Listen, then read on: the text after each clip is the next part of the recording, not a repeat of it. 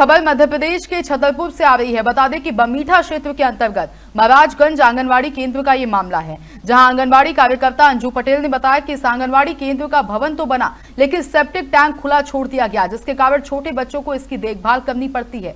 साथ ही आंगनबाड़ी केंद्र में बिजली भी नहीं है और मेन गेट भी चोरी हो गया है। इस पूरे मामले में महिला और बाल विकास अधिकारी राजीव सिंह का कहना है कि संबंधित सुपरवाइजर को मौके पर भेजा जाएगा। साथ ही मामले का जल्द ही समाधान भी किया जाएगा। अब देखना होगा कि खबर दिखाए जाने के बाद संबंधित विभाग क्या कार्रवाई करता है, ये बड़ा सवाल है। छतरपुर से मुकेश भार्गव की रिपोर्ट। बेसिकली वो आपका, आपने जो वीडियो दिखाया था मैंने, उसको देखा है, ये नया केंद्र भी निर्मित हुआ है।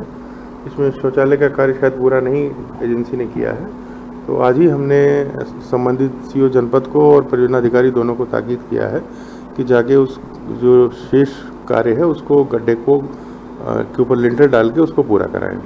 बिजली की जहाँ तक मैं, मुझे जानकारी मिली है कि उस गाँव में डीपी पे ट्रांसफार्मर ही हट गया है, लोगों की नॉन पेमेंट की वजह से। तो वो आंगनवाड़ी की समस्या नहीं है बेसिकली पूरे गाँव की है, जिसकी वजह से हमारी आंगनवाड़ी भी प्रभावित हो रही है। आंगनबाड़ी केंद्र महाराजगंज है, यहाँ पे लाइट की व्यवस्था नहीं है, और जो आंगनबाड़ी का गेट है, वो गेट टूटा है, और जो टैंक है, वो देखना पड़ता होगा। हाँ देखना पड़ता। हम कार्यकर्ता और शहर का हम दोनों देखते हैं। तो बिजली की क्या समस्या है? बिजली की यहाँ है ही नहीं है। डीपी है तो वो घल गई है। यही है समस्या। बच्चों को यही केंद्र पे बैठाते ये पेड़ लगा इसके नीचे बैठाते हैं। हम्म,